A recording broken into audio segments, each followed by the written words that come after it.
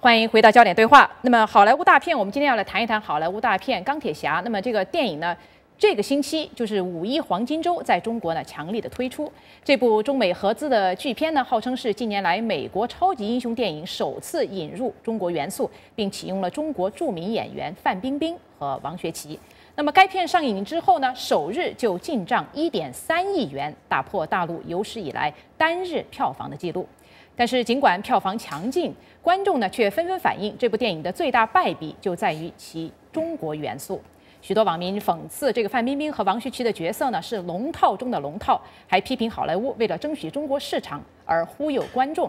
那么，钢铁侠添加中国元素是否弄巧成拙？好莱坞要真正进军中国，在文化体制、价值观等方面需要克服什么样的障碍？今天我们就来讨论一下这个话题。那么，首先我请戴博来。谈一下，你觉得这次这个钢铁侠三这个中国元素是败笔，还是还是一个妙妙招？讲，我觉得是败笔，而且我觉得对美国电影来说，对中国电影来说，也都不是什么好消息，因为他们都是为了政治或者那个商业的一些因素而改变他们的那个故事情节，都是有害于他们的那个电影、他们的故事的那个质量，而且这个是一一种宣传，我们都看得非常清楚。而且我觉得这些中国的这些演员什么的参加，就是演一个那个小富豪的有黄人那个那那个。面孔的这么一个角色，示好那些演员，其实是降低他们的身份的。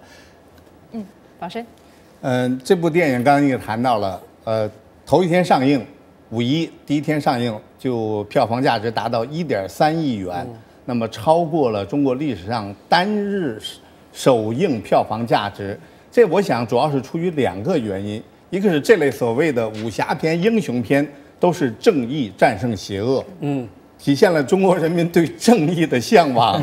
希望正义能够最终战胜邪恶。第二个就是这正好赶上中国五一的所谓小长假，三天了，你去哪儿？去远了不是，去近了堵车。我们看到很多的中国高速公路上啊，很多的这个司机、很多乘客，干脆因为因为堵得太久了，下车打麻将、打扑克，甚至几家人把自己带的食物放在一起，干脆来一个公路野餐。你说？到那公路上去受罪，不如跑到一个有空调的电影院里看一场电影，既娱乐了，同时又数了，又免除了这个呃舟车之苦，这一种逃避现实的一种做法。所以我并不是因为这部电影本身多么好而导致它的。票房价或者说它这中国元素多么成功？对，我觉得宝生非常的现实，人家谈到文化，然后你把它落实到生活。不，事实上是这样，我的感觉，我对不起，我这个我们在美国还没机会看。还没有，今天才看，今天开始演。对，戴博已经讲好了，就带他孩子去看。我啊，我的意思是说，这个电影啊，确实是反映了很多现在的美国这个好莱坞大片那种一贯的，姑且称之为手法吧，节奏非常快。镜头非常刺激，然后呃特效，对，其实真正能够留下大家多少的这种回味啊，我我我是有点怀疑的。但是回到这个问题，就是说这个里面的所谓的中国中国元素，其实并没有太多深刻的描写。归这你说一个演员在里面有一定的角色，结果呢，如果是在中国上演的时候还要修剪，要把中国角中国演员的那个分量是比例把它加重一点。这就说明它是叫中国版的这个钢铁侠，在海外版其实没有这个王学圻跟范冰冰，基本小看中国的观众。我们先听听破空的看法。你第一轮让人家破空说说话，嗯，好。我现在必须要这个说一下这个文化菜。刚才我在说印度就忘了一句话，说中国的重商文化和这个现实主义啊，它也是压倒印度的一个方面。那么这个在呃在在这个电影上哈，是中国观众已经累了，中国观众已经度过了好奇的阶段，因为我们看到中国的电影跟美国电影一个根本上文化的不同，中国的电影啊。古装片很多，就有复古的趋势，然后是现实片。那美国的电影未来片很多，就是富有想象力的那些影片很多，像什么钢铁侠、蝙蝠侠啦，什么，还有西方像那个哈哈利波特这些也非常流行，都是富有想象力的。但中国人其实很难适应这种具有丰富想象力的啊，就是想象未来空间的那种电影。除了《阿凡达》这种想象性的电影在中国获得票房价值以外，我想中国现在对这个已经是很很 tired 的，很累。说这次钢铁侠再进去的话呢，中国同时制造了他的电影。你比如他制造了一个叫做啊，你在讲中国元素，他在讲美国元素，他讲国际元素，他有两个电影非常畅销，挤的这个片子，一个叫做《北京遇上西雅图》，其实上他加入了美国元素，而且它是个轻喜剧现实片。另外他有一个叫泰国，那个不知道那个字是不是读古，就是讲什么老斯囧泰囧讲的泰囧，对泰囧泰囧。对泰囧那个片片子也是一个国际元素，说中国人就好像中国人吃法国菜、墨西哥菜，直接吃原生的并不好吃，但中国人就把它改装一下，改成中国法国菜、中国的墨西哥菜，中国人就趋之若鹜，非常好吃。说中国的导演也学聪明了，他看到美国大片这么受宠，他也把你的经验都拿了过来，拿了过来之后，把中国的观众的口味加进去，使中国观众更注重于现实，更注重于就是说我能看得见、摸得着，相信那个故事能够发生，而不是像美国那个就是什么一个盔甲又这样变了，一个人变成机器，机器又变成人，一会儿又能够飞上天了，一会儿在楼上跳来跳去，对中国人非常疲劳。我一直就担心美国这种电影在中国始终是最终是会让中国这个受受不了。审美疲劳我觉得这是一个趋势嗯，这是一个一个开始。谈到这个回回归正题，谈到中国元素，一开始我看到这方面报道的时候，我以为增加了一些中国文化方面的一些元素在里边，一些历史的这个因素在里边。实际上完全不是这样。对所谓的中国元素，就是请两个中国当前票房价值最好的影星。男演员就是王学圻，女演员就是范冰冰，他们当然都非常英武，非常漂亮。但是你加入这两个意思是什么？无外乎就是两张中国人的面孔，对而且所谓的有国际版和中国版，这到底是什么意思？你好莱坞这纯粹是低估了中国观众的这种智商。可是不只是好莱坞，其实中方也有责任。对因为他们是要求好莱坞这样做，他们也小看中国的一些观众。中国的观众是有鉴赏力的，他们知道我不我不会是因为有一个范冰冰的面孔而说这是一部好电影。他们知道他们是受侮辱的，而且中国的一个观众的，我觉得一个非常大的优点，在这个方面他们比美国的好，他们的国际意识很强，他们会看那些带字幕的。的一个电影，如果是一个好电影，没有中国人，他们还是很愿意看。对不像美国人，他们只要听那个美国的故事，听那个英文的那个电影。所以我觉得好莱坞也好，他们有他们的错，你说的对。可是其实中方也有他们的错。其实我觉得好莱坞它加入这个中国元素，显然是从商业利益考虑，因为中国的这个电影市场太大了，现在否则，这部电影为什么首先在亚洲地区首映，在美国是次映？对，嗯，但是关键就是说，你如果要添加中国元素，你得添加的有品位，而且你要把这个文化的精髓表现出来。那么我觉得，好莱坞这样做反而是一种对中国文化的不尊重，因为你就好像啊，我给你两张中国脸，你就觉得应该是中国元素。但是我觉得好莱坞，比如说在很多电影，它有时候，比如说所谓日本元素，原来曾经有一些电影，比如说像汤姆克鲁斯演的最后的这个最后的武士武士什么等等，我觉得他们对于日本元素的反应就比对中国元素反应似乎要深刻一些。我不知道是不是一种偏见，刘平先生您的看法？好，呃，因为美国人跟日本人对日本的了解其实是超过他对中国人的了解，至少这个程度上是有很大的区别的。我想到这个，呃，曾经有过一部电影，就好莱坞的这个广广告说辞里面呢，就是说这个电影里哈有这个，呃，他他他是，对不起，不是好莱坞，就是这个片商啊推出一部这个二十年前的电影。然后呢，就这个电影里边呢，有这个某某某某这个有有一个很有名的演员也在里面嘎了一脚，我就非常认真的看那个电影，后来就发现那一个人在里面嘎了一脚，大概十秒钟，就是这个部队冲锋的时候，他也在那边喊杀，然后就被敌人打死了。嗯，对对，但是因为二十年前是他这个小角色，那现在要把那个电影重新推出来的时候，为了吸引大家注意，让大家去看，所以就是说那个人在里边有一脚，其实那一脚的那个分量。对整个，你可以把那段剪掉，这都不影响整个片子的完整。所以啊，我赞成，就是说，我们所谓讲这个中国元素啊，跟这个美国的文化，这好莱坞电影里面反映的这个日本的文化，在程度上实在是有天壤之别好莱坞的。所谓的反映日本的文化，最后武士也是有问题。你非得有一个美国的一个小白脸才能够到日本去做那个英雄好汉，而不是日本人。其实很那个电影多日本人说问题是一个美这个就是其实 对我我说的很多日本人是骂这个电影，说这个也是你瞧不起日本的一个电影嗯，。好，我听听破空的看法。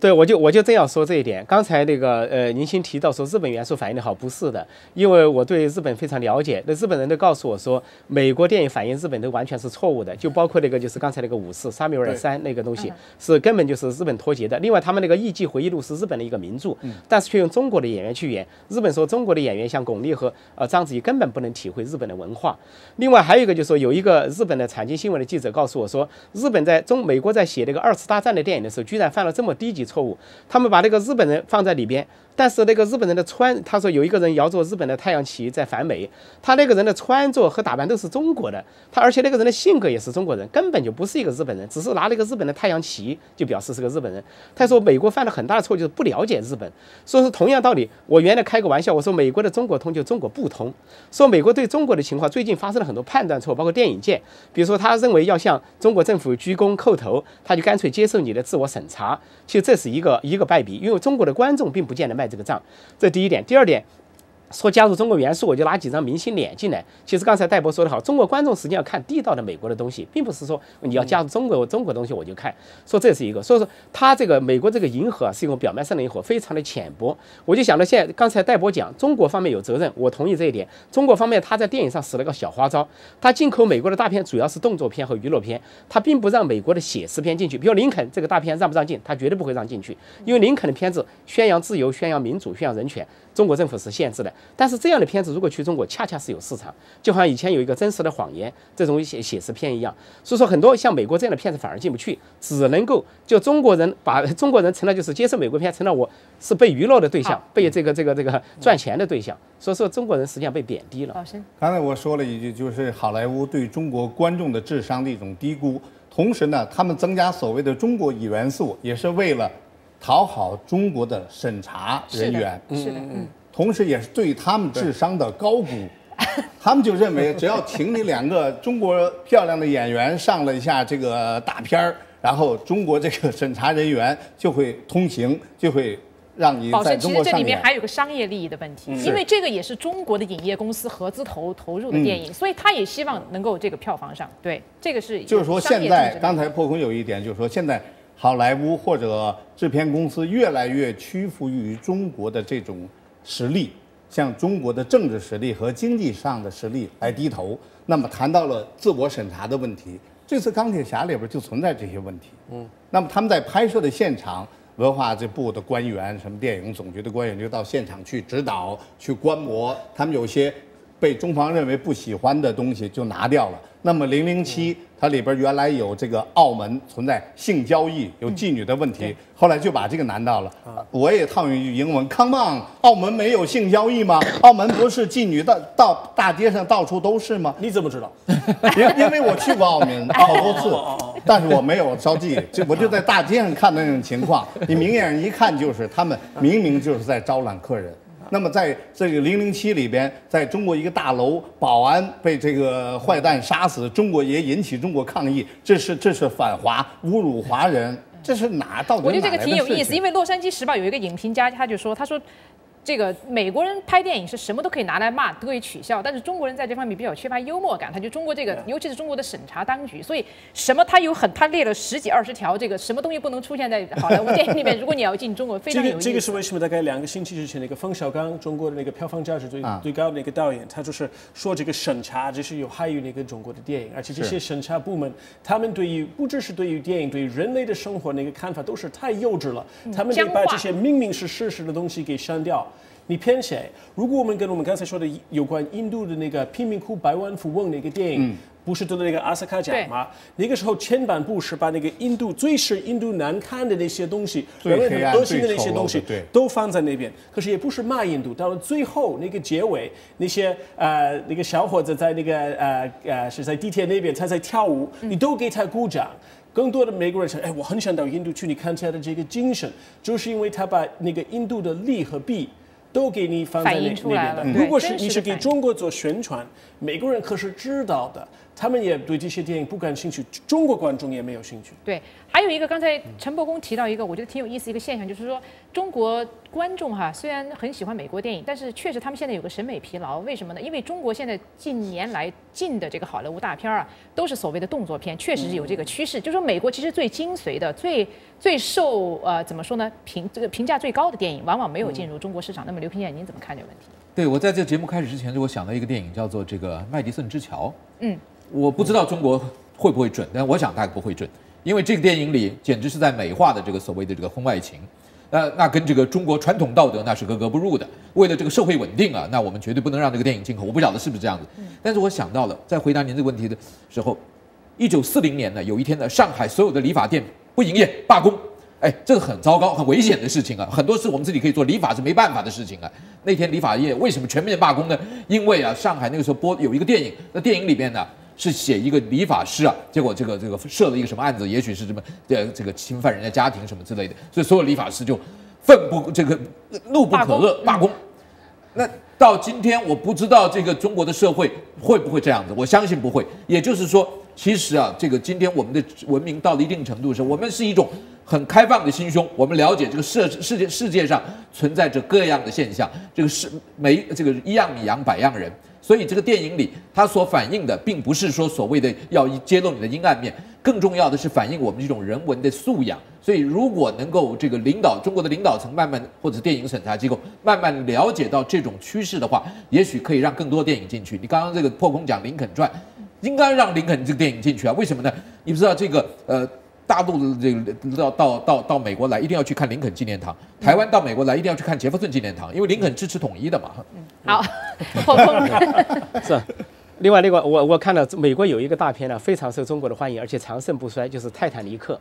泰坦尼克》当时在中国放映的时候，创下了票房那个天价。呃，那个那个非非常好的票房价值，而且最近呢，两年那个去年吧，泰坦尼克推出那个三维三维版，在中国依然是卖座，非常卖座，而且是又创下了个巨大的票房价值。就为什么泰坦尼克符合中国的口味呢？就它写实，它浪漫，而且它有爱情故事，而且是气势恢宏，是一个大片，而且是跟那个就是真实基于真实发生的一个故事，就泰坦尼克号沉没记。而且，但是就在这个片子中，中国政府犯了一个非常低级的错误，就他把这个片子也 cut 了一下，也剪裁了一下。他剪裁的就是那个男主角跟女主角画像那段那个裸戏，那个恰恰那段戏是泰坦尼克的精华，非常优美，符合这个泰坦尼克就是说唯美哲学。恰恰他把这个最优美的一段卡掉，而中国观众是非常不卖账。中国观众为了找到这一段，不惜就是盗版。不惜这个这个看那个地摊，到处去找或者在网上都要把这个看全。说中国观众并不卖账，就是美国的公司会去迎合中国，也不卖账，中国的这个审查部门去那个审查电影。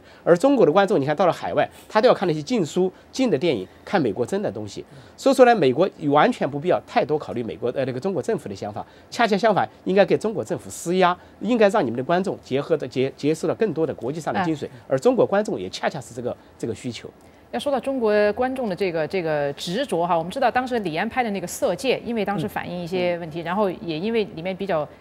比较怎么说大胆情色的这个镜头，结果很当时香港说的形成一个小产业啊，大陆人到香港去看这个电影，所以这 要看原版。好，刚才破空谈到了美国要向中国施压，我不知道这个压应该从哪一部哪一个方面来，来自哪一个方面？我们不可能指望好莱坞的这些制片公司去向。中国施压的，看一看现在世界国际电影市场的现实吧。大部分票房价值不是来自北美，而是来自亚洲。比如讲李安前世的拍的这个《少年派的奇遇漂流》，对，那么在世界上其他地方，特别是亚洲的票房价值要远远的超过在美国的票房价值。就是说，现在美国人的娱乐越来越多样化。他们并不见得非得要到电影院去看电影才能满足自己的娱乐的需要。那么现在高速公路没有那么塞嘛？对不对？好莱坞主要是给那个从十五岁到二十五岁的全世界的那个男性拍电影。嗯。他们来看什么？看这些暴力，这个侠那个侠，我也看腻了。